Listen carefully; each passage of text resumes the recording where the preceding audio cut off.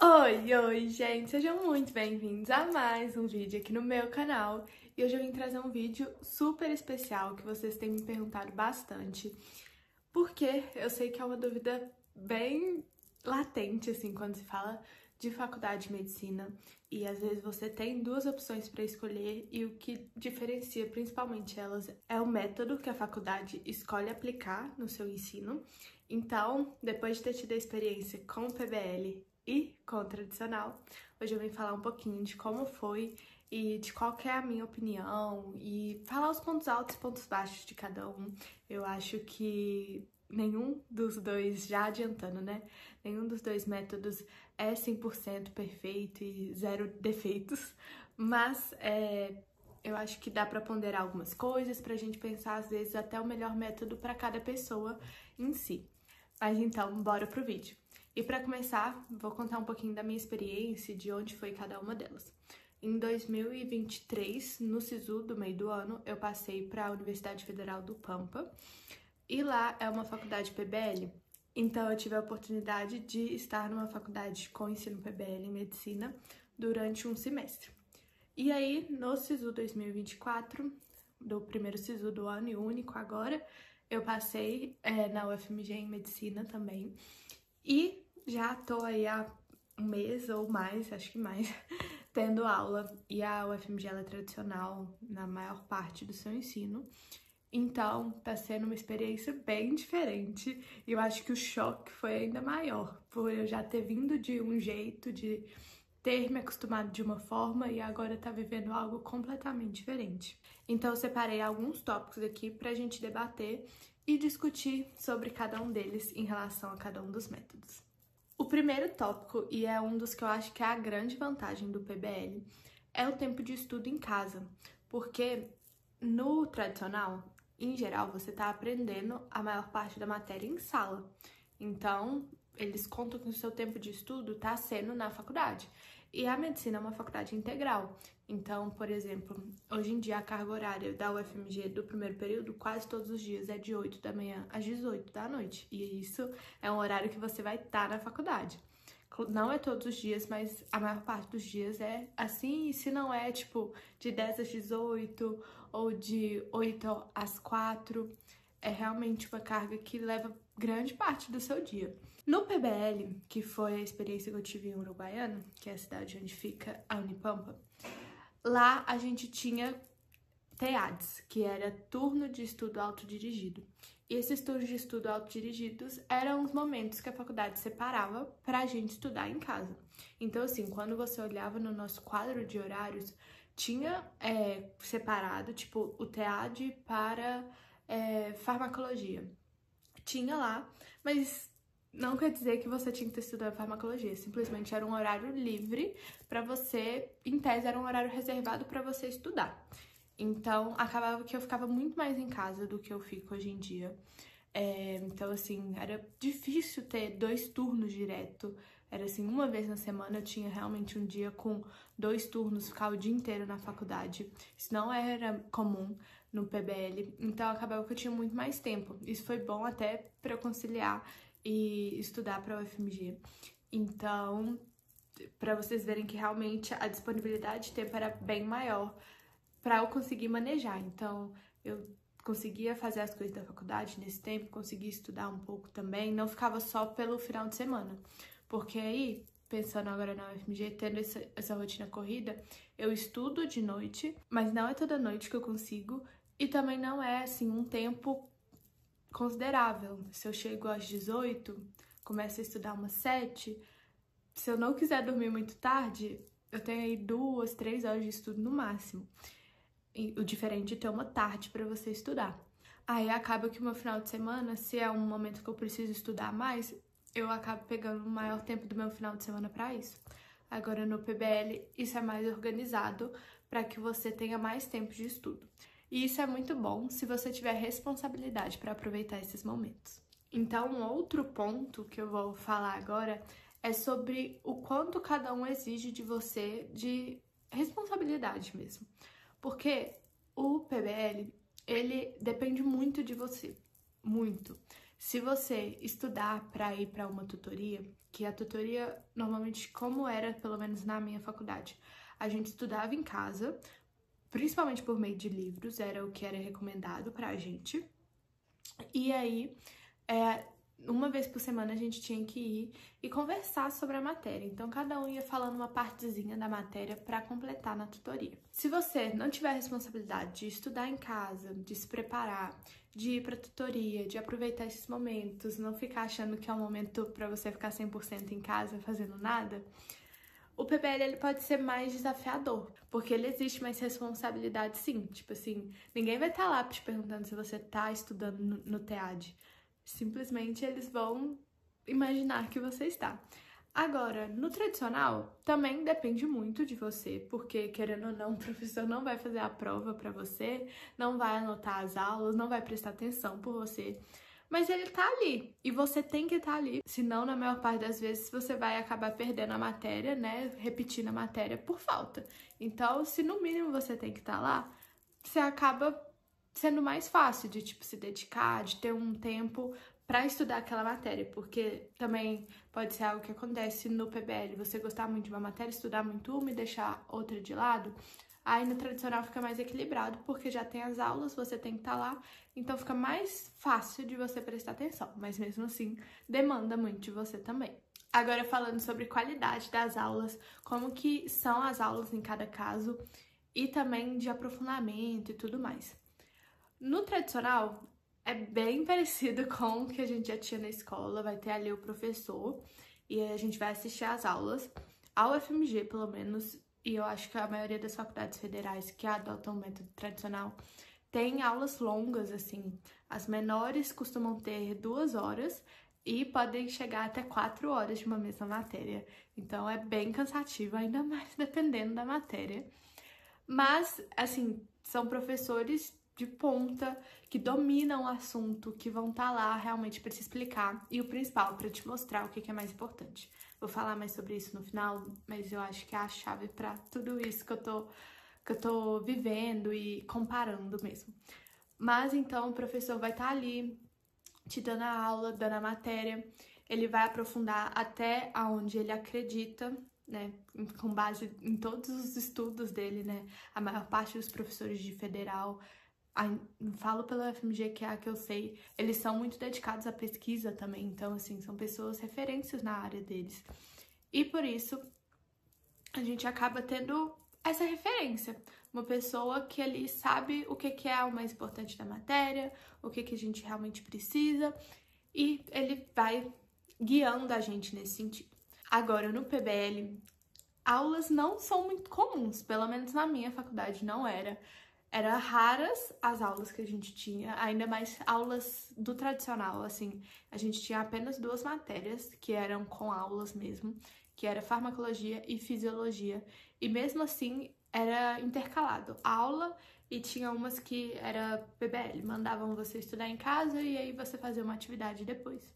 Então, não tive muitas experiências com aulas. A gente tinha professores, cada professor de uma matéria, mas tinha matéria que a gente nem conhecia o professor. Ele só mandava o que a gente tinha que fazer, o que a gente tinha que estudar, tipo, uma grande área, por exemplo, estudar anatomia dos músculos. Não é o caso de anatomia, anatomia a gente tinha aula com, com a professora, mas estou só dando um exemplo. Bioquímica, por exemplo, a gente não tinha contato com o professor, então ele passava a matéria de bioquímica que a gente tinha que estudar para tal tutoria e a gente estudava e ele fazia a prova. Então, assim, acabava que a gente não tinha muito contato com os professores de algumas matérias em específico, outros a gente tinha até mais. Por exemplo, a gente tinha o tutor, que era quem participava da nossa tutoria para avaliar e guiar a gente, mas ele era um tutor de uma matéria. Então, tipo assim, ele dominava muito a matéria dele, mas não era, assim, um conhecimento geral de tudo que a gente vê na tutoria, porque a gente vê vários assuntos.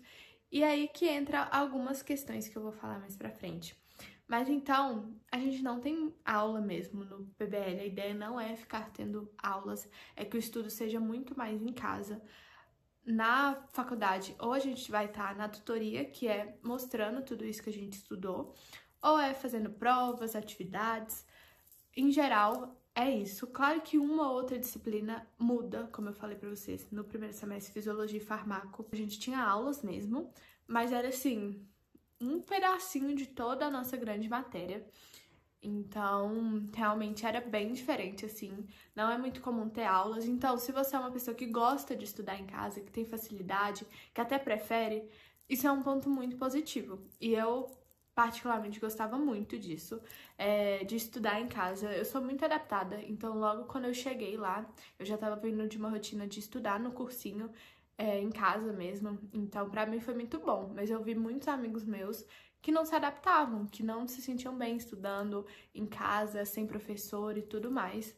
Então, assim, a minha primeira impressão quando eu cheguei lá foi muito boa de estudar, eu me dava super bem, assim, e gostava muito dessa facilidade de poder estudar em casa na hora que você queria, no momento melhor ali. Porque eu tenho dificuldade, assim, às vezes eu tô lá na aula, mas eu distraio, e aí acaba que realmente é um tempo mais que você tá lá, mas você não tá absorvendo o que você deveria. Então, tem essa vantagem e desvantagem que eu acho que é de personalidade. Cada pessoa tem um jeito. Tem gente que não vai conseguir de jeito nenhum estudar em casa, como pessoas, ah, eu não vou fazer cursinho online porque eu não consigo estudar em casa. E vai ter pessoas que vai ter dificuldade de prestar atenção, não gosta tanto de aula, assim, de muito tempo, com o professor falando.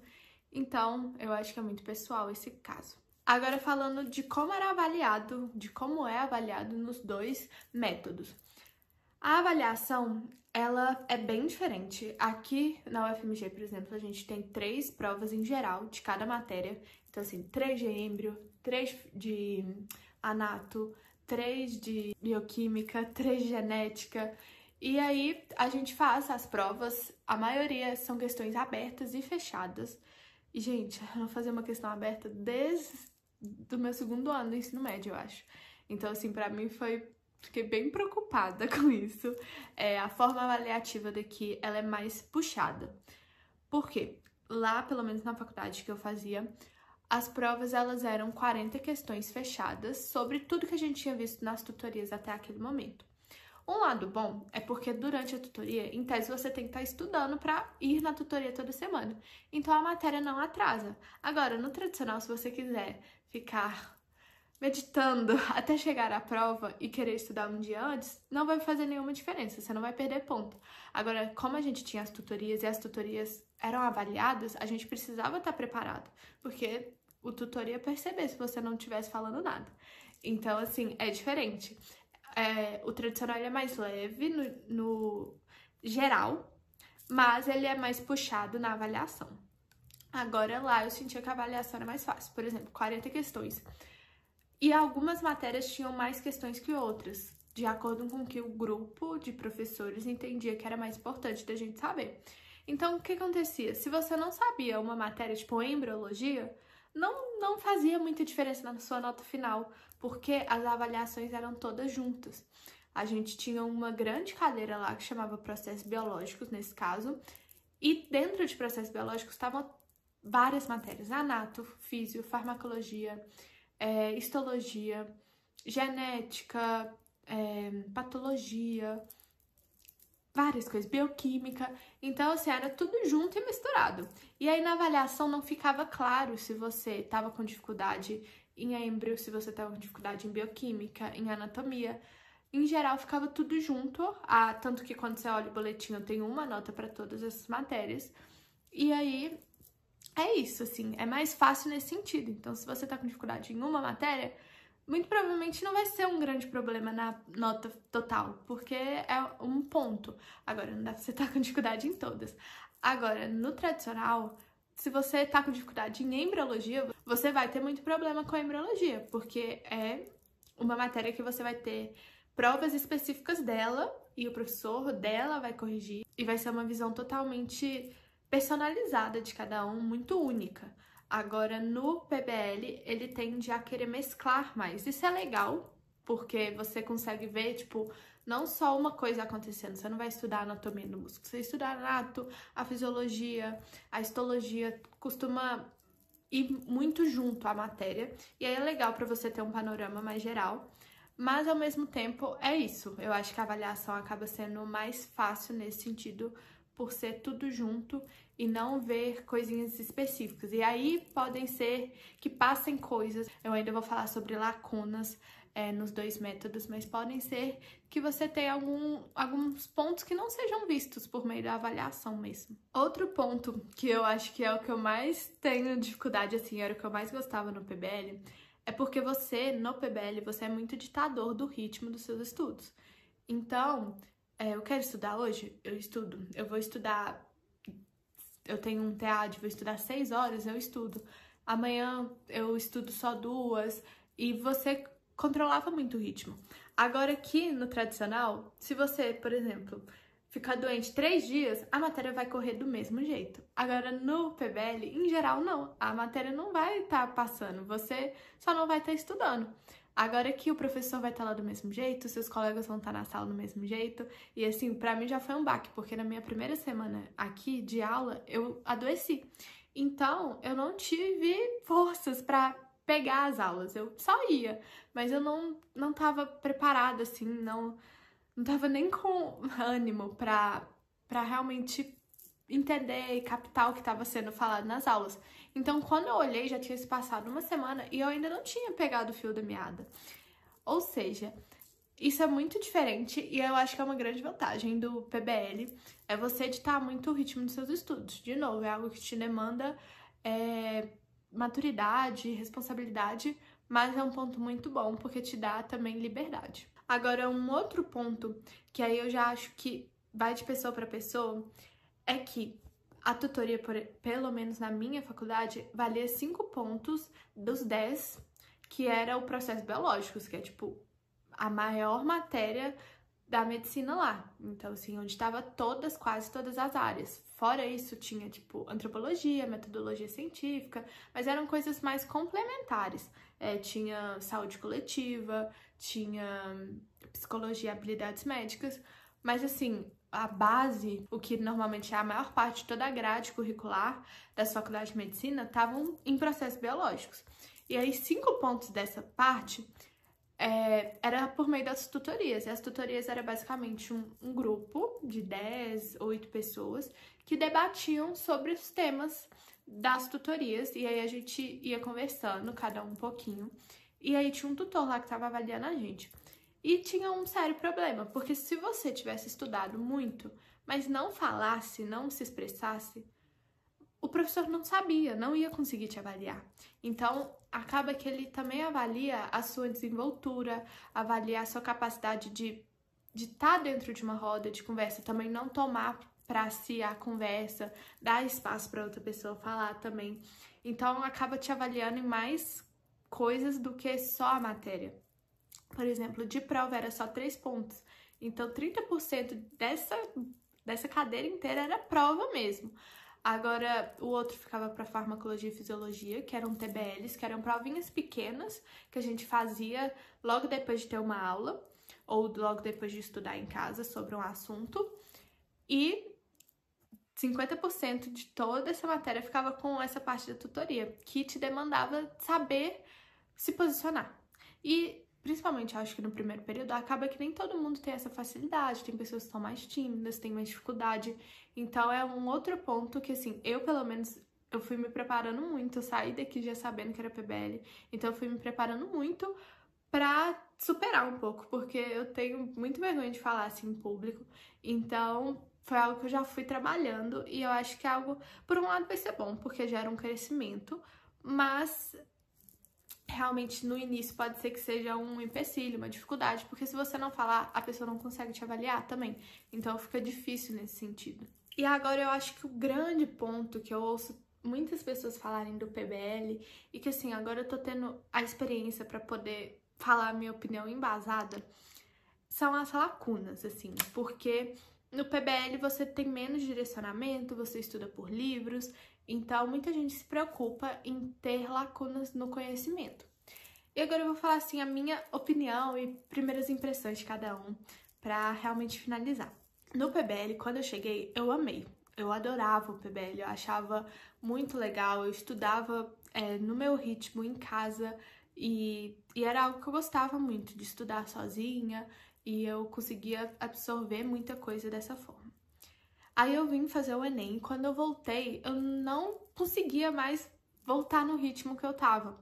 Porque apesar do PBL, ele você poder ditar o ritmo, assim, você perde uma tutoria, já tem uma outra coisa na frente, sabe? Então ele não tem muito tempo também pra, pra você retomar as coisas. É realmente uma coisa atrasar a outra e, e meio fragmentado. Você estuda uma coisa agora, depois estuda outra e tudo mais, e por livro. E aí eu acho que a grande questão é o estudo pelo livro também. Porque o livro, às vezes você lê, mas você não consegue ter uma visão geral do que, que o livro tá falando não é didático no sentido de você ter. Às vezes você leu, se você precisar repetir, você repete, que era muito que a gente fazia na tutoria, mas você não sabia exatamente o que, que aquilo estava falando, o que significava, pensando em coisas assim do corpo humano mesmo. Então, você sabia, você lia, falava, mas você não entendia exatamente o que, que significava aquilo. Então, é, hoje eu tenho mais essa percepção, mas quando eu saí de lá, é, eu gostava muito do PBL, eu achava super legal. No final, é isso que eu falei, eu tive mais dificuldade de voltar ao ritmo. Então já tava mais, meu Deus, sabe? Eu queria recomeçar de onde eu tinha parado. Mas, por outro lado, eu gostava muito. Quando eu vim pra cá pro tradicional, é, eu no início senti muita dificuldade, exatamente por isso que eu tô falando. Foi exatamente o contrário que aconteceu lá. É, porque eram aulas muito longas, são aulas muito longas, e você precisa desenvolver habilidades e desenvolver formas de conseguir captar o máximo daquela aula, porque tá ali uma pessoa especializada no assunto para te dar uma aula sobre. Então, assim, é muito interessante que você aproveite esse momento, mas para isso é, a gente acaba precisando ter mais atenção durante um longo prazo, e se você não tá habituado a isso, você sente um pouco de dificuldade no começo. Mas agora que já passaram as primeiras provas, eu tenho sentido uma coisa muito boa que eu não tive lá, que é ter um professor, alguém realmente para te direcionar e falar, olha, isso é o mais importante agora, isso não é tão relevante, isso é o que você precisa saber e tudo mais. Até agora eu abri tipo assim um livro e eu já tive prova, eu tenho várias, eu tenho nove cadeiras na faculdade e mesmo assim é, eu não tenho estudado muito por livros, porque eu tenho lá um professor, ele fala a matéria toda, a gente estuda por anotações de aulas, a gente tem muito mais direcionamento do que, que é realmente importante. Então, para mim, acaba que a gente acaba sendo bem mais direcionado e consegue ver a matéria de uma maneira bem mais é, conectada. Tipo, é uma matéria só, né? Então, tô falando de embrio, a gente consegue ver embrio conectado por inteiro, mas é uma matéria só. Lá é mais é, conectada às matérias em si, mas a matéria no tradicional é mais contínua. Então, hoje eu tenho gostado mais por isso. Eu acho que pro aprendizado tem sido melhor. E aí, quando a gente entra nesse assunto de lacunas, o que, que eu vejo que acontece? O primeiro ponto que pode gerar lacuna no PBL é porque a gente estuda por livros. E, gente, para quem estuda por livro em medicina, sabe que livro de medicina não acaba. Você lê, lê, lê e o livro não acaba. Então, às vezes você tá estudando, não vai dar tempo de você estudar tudo, mas você estuda na ordem do livro. E aí você às vezes deixa passar coisas que vão ser importantes, que são mais importantes do que aquilo que está no início. Porque a ordem do livro nem sempre é a ordem mais didática, para a matéria, às vezes é a ordem mais didática para a escrita do livro. Né? O livro é muito importante, ele é a base é, teórica das matérias que a gente tem, mas é muito legal ter uma pessoa que vai realmente mastigar aquilo, sabe? Então, é isso que eu tenho sentido no tradicional. É, eu não tenho mais aquela coisa de, meu Deus, o que, que será que é importante? Por exemplo, lá no PBL, às vezes eu estudava muito algumas coisas para tutoria e chegava na prova e era coisas totalmente diferentes que eram cobradas. Então a gente via que o que o professor pensava que era mais importante, às vezes não era o que a gente dedicava a nossa energia maior. Então aqui acontece totalmente o contrário. O que a gente vê nas aulas é o que cai na prova. Então a gente sente uma confiança maior de tipo, eu realmente estou estudando o mais importante. E outras coisas podem gerar lacunas, é, como o nosso tutor é uma pessoa de uma matéria em específico, pode ser que detalhes de outras matérias passem por ele, porque ele também tá ali com geralzão, né? Ele tem um, um do que deve ser debatido na tutoria, mas é um geralzão. Então, pode ser que passe algumas coisas. E assim, essa é a minha consideração final. Os dois foram muito bons para realmente eu ter a experiência pelo aprendizado. Sairão bons profissionais de ambos os métodos, com características diferentes. Mas é, hoje em dia eu vejo que tem pontos positivos e negativos nos dois. Eu acho que realmente deve ser algo bem pensado, é, de acordo também com a sua personalidade, com o que você prefere, com o que você está disposto a fazer. É, realmente, assim, acho que deve ser avaliado cada caso. Mas é, eu fui muito feliz no PBL e tô sendo muito feliz agora no tradicional. No início foi um susto e agora, hoje em dia, eu gosto muito, tenho visto que eu tenho aprendido muito mais. Porque é isso que eu falei, às vezes no livro eu lia, sabia repetir, mas não sabia exatamente o que significava. E hoje em dia eu leio e eu entendo e eu sei o que, que significa.